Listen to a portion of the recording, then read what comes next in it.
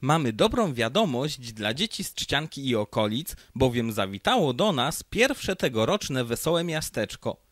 Pogoda jest sprzyjająca, dlatego tym bardziej zachęcamy do odwiedzin i miłego spędzenia czasu.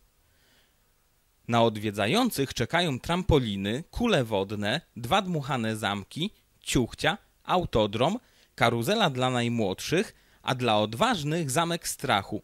To tylko część atrakcji, jakie czekają na rodziny z dziećmi.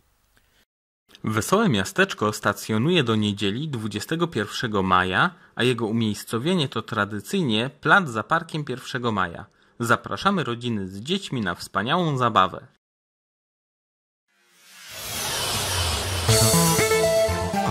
Wow!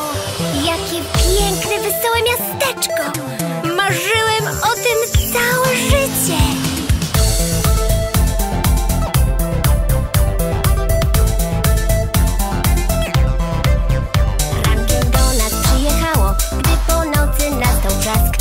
everything.